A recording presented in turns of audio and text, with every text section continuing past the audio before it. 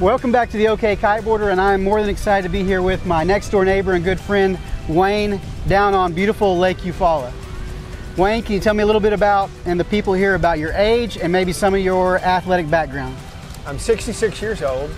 Uh, I ride a mountain bike, a road bike. I run, uh, lift weights. I'm fairly fit for my age. Yeah, I would completely agree with that. However, when it comes to wind sports, your experience is? None. I have no experience on a, I'm not even very stable on a paddleboard, so we'll expect me to get wet today. So that's where we're gonna start today, and we're gonna look at the novice entering into the world of wind sports. So when wing foiling came about about a year ago, we saw it and we said, you know what, this could be that entry point for the novice who would like to get into wind sports. So today we'll run a little test. This will be our experiment. How long does it take? How much education, how much success, and how much fun can you have in a short amount of time of training? Good idea. Any reservations, Wayne? No, Any reservations from your wife? maybe a little. All right, let's see how this goes. That bass, we gon' shake up this place. Say pick up, pick up that pace. Yeah, we got no time to waste. Everybody say feel. Education began on land for a period of approximately 15 minutes while I was explaining to Wayne the wind window and the way that the hand wing responds to hand and body positions. I believe that the hand wing is much less intimidating than other wind power source aids. It's even much friendlier than a trainer kite. After this brief period of training, we went to the water on the SUP. A couple of aids on the market currently to help with keeping a standard SUP upwind are the Slingshot SUP winder, which you install with a 3M adhesive pad and you're able to install this removable keel. Also the Duotone Drift Stopper, which is able to be interchanged between different floating vessels to increase upwind capacity when using the hand wing.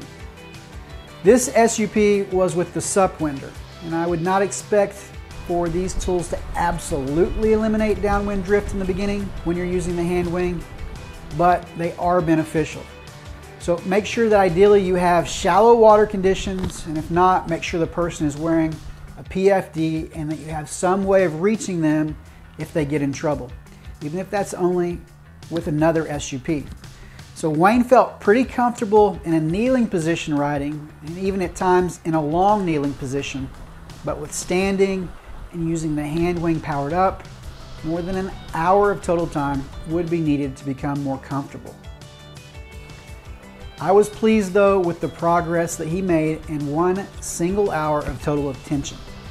There aren't many wind activities on the water for a novice that I can think of where someone can experience something that they would actually describe as fun in the first hour. And that's exactly what Wayne communicated that he had fun and he would like to do that again. So, isn't that kind of exciting to see an element of the activity that we all love to at least be semi graspable by an active but non wind sports individual in such a short amount of time?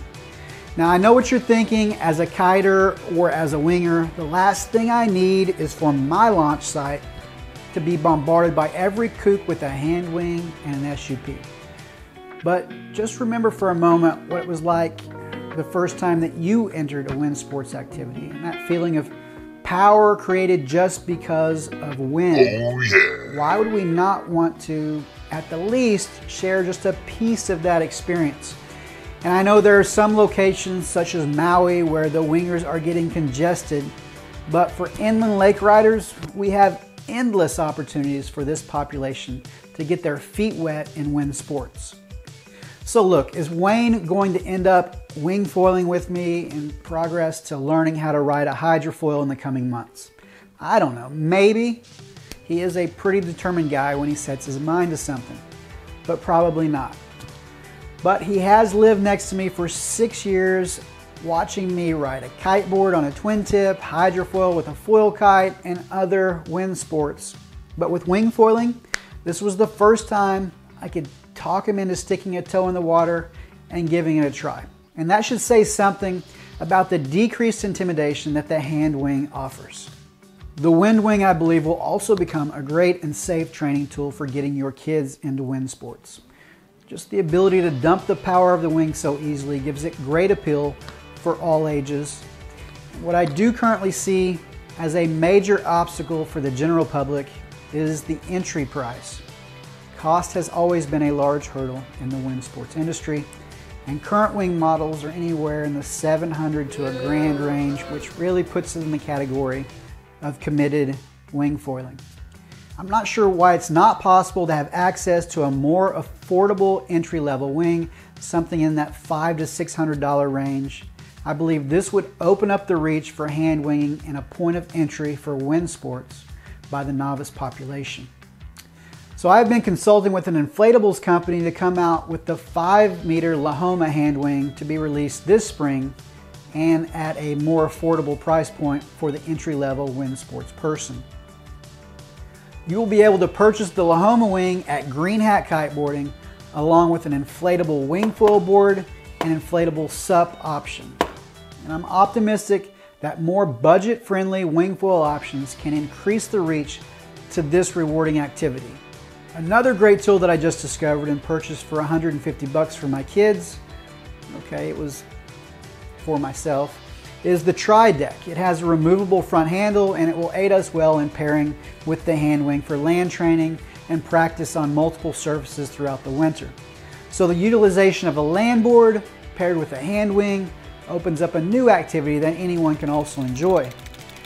So if we are able to take away some of these obstacles for the novice, such as intimidation from kite flying, with the lines, the bars, harnesses, etc., and the cost of these kites, bars, lines, kite boards, harnesses, and use already existing SUPs, graveyard wind boards, or surfboards and purchase an economically prudent wind wing, a cheap keel adapter, and maybe a land board, then how many more people on the sidelines and the youth could be exposed to this great world of recreational wind power?